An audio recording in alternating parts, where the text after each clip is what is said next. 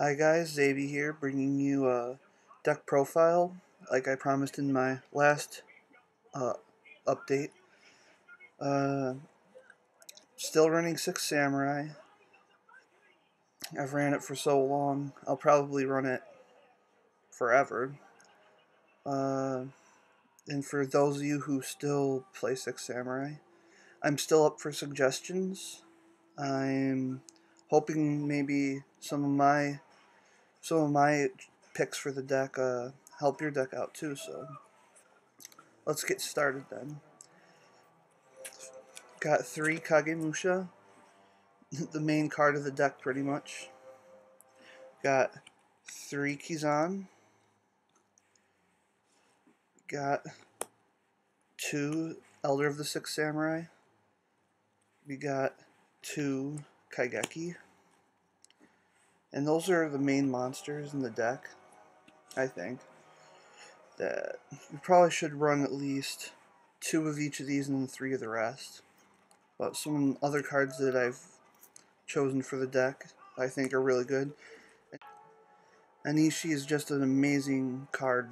Come get it out of nowhere and it can really change the game around with just the one card. I got one Zanji, one Iro, these two are they're great cards in and of themselves. Same with Enishi. But with asceticism, all these cards become like even better, much more accessible. Uh, a new pick that I've decided to use for this deck is Spirit of the Six Samurai, which turns out it's been help very very helpful on a lot of occasions, especially with a 3000 Shien plus the drawing power and being able to save them once, even if you don't have another Six Samurai. I, you can't go wrong with this card. And last monster, but not least, is Grandmaster of the Six Samurai. Obvious, he's 2100 beat stick. Uh, spell cards. We got triple Shien Smoke Signal, triple Asceticism of the Six Samurai, triple Six Samurai United, uh, I run three of each of these because you get your monsters so, so fast. And Asceticism is such a great card. Uh, honestly, I haven't seen a Six Samurai deck in a while, so I don't know. People still run it. Or even if it's at three. I do remember when Asceticism first came out, I was like, should people use it or should people pass it up? But it's a great card. Um, I've got two Shien Dojo. I go back and forth with this card. Uh, some formats I use it, and then the other formats I don't. But lately, these have been really helpful. Oh, we got two Forbidden Lands, which is also something different I've added for this deck. You know, with Monster Reborn, and you know, there's a lot of there's a lot of tech anymore that's that we can't run, and I've always wanted to use this card, but in this deck, but there's no never any room for it till now. Uh, we got double Mystical Space Typhoon. Still wish I could run three, but what can you do? One Rada, one Dark Hole. Trap cards. Two Musakani Magatama. Uh, two Double-Edged Sword Technique. I suggest to always have two of them at minimum we got two Mirror Force. I've, I love Mirror Force. I highly recommend using this over D Prison. Uh, then we got one Bottomless, one Compulse, and one Warning. That's it for the main deck. Time for the extra deck. The one card that you're always going to have in a Six Samurai deck, Shien. Got one Naturia Beast, one Catastor. These are my only level 5s, even though level 5s are the ones that you're going to want to sink into. But at the moment, I think these are like the three that are going to be helpful, because once you get Shien out, you probably, I, I noticed I don't really uh, synchro quite as much into the level 5s. We got one Gaia the Force of Earth. We got one Naturia Barkion Still great cards.